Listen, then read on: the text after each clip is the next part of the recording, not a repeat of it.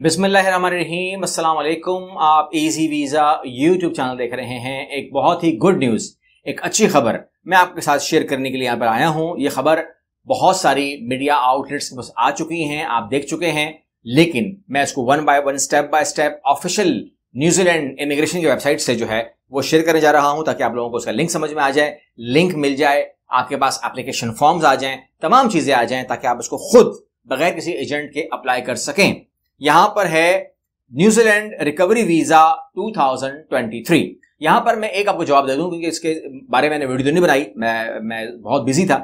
लेकिन मैंने जवाब दिए हैं। मुझे, जिन लोगों ने मुझसे रब्ता किया, या कुछ भी आप कह लीजिए तो उनको मैंने जवाब दिए हैं, और ये तमाम जवाब जो हैं, आपको मैं, इसमें एक बड़ा कॉमन जवाब जो लोगों को मुझे देना पड़ा बार बार वो ये है कि वो कह रहे थे कि न्यूजीलैंड क्यों हमको बुलाएगा काम करने के लिए, इस हवाले से जिसको आप कह रहे हैं।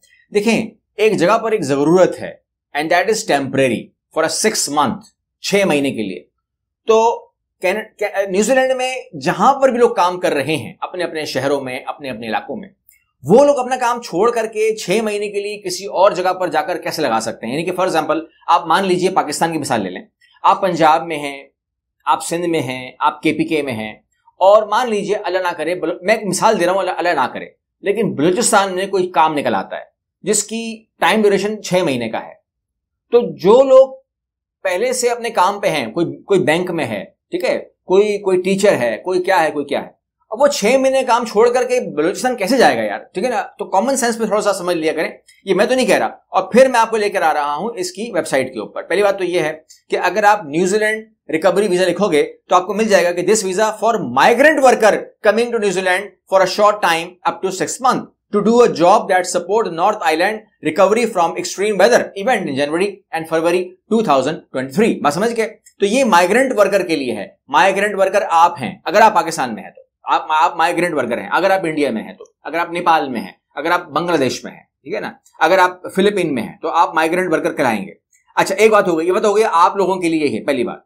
उसके बाद ले लीजिए कि आप, दूसरी बात यह है कि अगर आप ओवरऑल न्यूजीलैंड को देखें तो वहाँ पर कोई फालतू नहीं लोग घूम रहे हैं ना। जिस तरह पाकिस्तान के अंदर आप शट डाउन अनाउंस करते हैं तो लोग आ जाते हैं, कहते हैं, जी, हम हम फारिग बैठे हैं। लेकिन न्यूजीलैंड में फारिग नहीं बैठे हुए ना, वो लोग अपना काम में लगे हुए अब यहाँ पर मामला ये हो गया है कि आप कहते हैं, कितनी देर में ये जॉब मिल जाती है कैसे मिलेगी तो मैं आपको वेबसाइट से बता देता हूँ। मैं आपको सीधा वेबसाइट ले जाता हूँ, वहीं से देख लीजिएगा।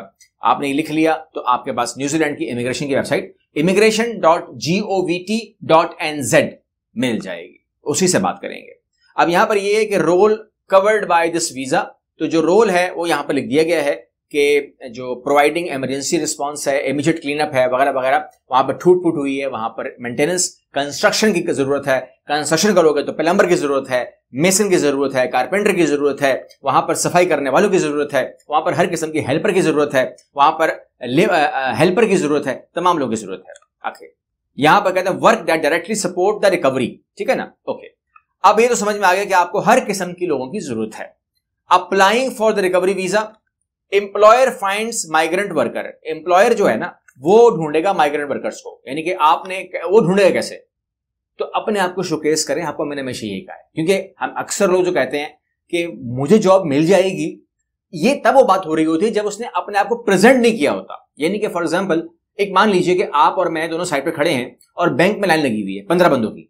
तो आप मुझसे खड़े होकर पूछते हैं, कंधे से कंधा मिला के। हम दोनों लाइन देख रहे हैं। मेरी बारी आ जाएगी। यार, आप मेरे पास खड़े हुए हैं। आप लाइन में लगे ही नहीं। बारी कैसे आ सकती है? बारी उसकी आएगी जो लाइन में खड़ा होगा। तो लिहाजा, मेरे पास खड़े होके, मेरे पास बैठ के अगर आप पूछोगे, मेरी बारी आ जाएगी तो नहीं आएगी तीसरा बारी। बारी लाने के लिए आपको लाइन में लगना पड़ता है। और यहाँ पर employer find migrant to workers ये बात हो गई। उसके बाद employer complete employer supplementary form यहाँ पर फॉर्म में आपको दे रहा हूँ, ठीक है? लिंक दे रहा हूँ, नीचे दे रहा हूँ। Migrant applies for this visa उसके बाद जो लोग बाहर के लोग हैं, जो पाकिस्तान, इंडिया, बांग्लादेश, जहाँ पर भी हैं, वो अप्लाई कर सकते हैं। उसके अलावा वी प्रोसेस एप्लीकेशन प्रोसेस तमाम चीज़ें वही से हो रही हैं। अच्छा तकरीबन 700 डॉलर फ़ीस है इसकी 700 डॉलर वो भी आपने पे नहीं करनी।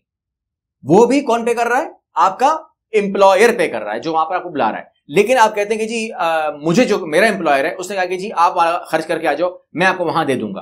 तो ये मैंने देखा है ये आपको बता दूँ कि ये मैंने देखा है कि कुछ लोगों को सात सौ डॉलर जो है वो उनका सेटलमेंट हुई है और कुछ लोगों को उनसे कहा है कि आप आ, आप खर्च कर लें आप आ जाएँ हम आपको एडजस्ट कर देंगे हम आपको किस्तों में दे देंगे या खड़े दे देंगे बड़ा और जो भी है। पहुँचने के बाद दे देंगे। Recovery visa employer supplementary form I N Z one three seven seven PDF format में अवेलेबल है। मिल गया आप लोगों को। स्पेसिफिक पर्पज वर्क वीज़ा यहाँ पर क्लिक करोगे आपको मिल जाएगा। कोई प्रॉब्लम नहीं नीचे लिखा हुआ है the New Zealand 700 fee will be refunded automatically for successful applicant refund are to to 15 to 25 days to process depending on demand for the new visa Once the refund has been proceeded, confirmation will be provided via email address listed at the contact. ये सब कुछ official लिखा हुआ ठीक है? आपको 15 से 25 दिन के अंदर 700 डॉलर वापस कर दिए, जाएँगे, ये उनकी ऑफिशियल वेबसाइट कह रही है, आप कहते हैं कि मुझे डायरेक्ट बात करनी है, आप खुद कर सकते हो, आपको कंसल्टेंट की ज़रूरत नहीं है तो फिर आप क्या कीजिएगा कि नंबर दिया हुआ है फ्री फ़ोन है फ्रॉम न्यूजीलैंड है landline zero five zero eight nine six seven five six nine number मैंने बता दिया, आपने नोट कर लिया होगा, वरना आप इसको वेबसाइट पे आकर ले सकते हैं, आप खुद बात कर सकते हैं, कोई टेंशन नहीं है।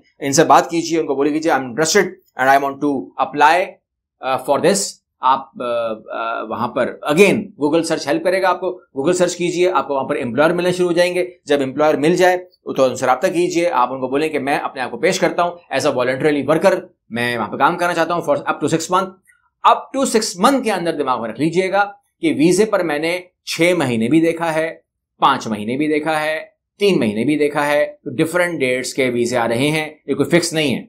मतलब पता लगे कल आपका वीज़ा ही दो महीने का आ जाए तो आप हमारे ऑफ़िस में कहेंगे जी, हमने तो छह महीने की बात की थी। अप टू सिक्स मंथ है ये। अप टू छह महीने तक का वीज़ा तो मैं ये क्यों बोलता हूँ वीडियो में? ताकि कल जब आपका वीज़ा छोटा आए तो आप ये कह सकोगे, आपने वाजे कर दिया था कि छह महीने तक का वीज़ा है तो ये एक महीने का हो सकता है, दो महीने का हो सकता है, छह महीने का हो सकता है। डिपेंड करता है एम्प्लॉयर के ऑफ़र पे। ठीक है? पसंद आए, उनके ऑफ़र लेटर कबूल कर लेना। पसंद ना आए तो भाई छोड़ देना।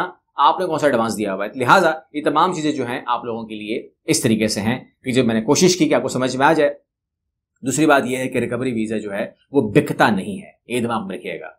हमारा तो हर कोई वीज़ा भी नहीं बिकता, लेकिन खासतौर पर मार्केट वाले जो लोग हैं ना, जो लोग कहते हैं कि जल्दी जल्दी, चार दिन में तो कभी चार, छह दिन के चक्कर में कहीं ये वीज़ा खरीदने के चक्कर में निकल मत जाना। ये वीज़ा बिकता नहीं है। तमाम वीज़े visit visa tourist visa work visa immigration visa apply होते हैं। तो अगर हमसे भी अप्लाई आप वो करते हैं ना, रबता तो अप्लाई करने के लिए किया करें। ये खरीदने के लिए मत आया करें वीज़ा। अगली वीडियो मिलते हैं इंशाल्लाह। अल्लाह हाफिज़।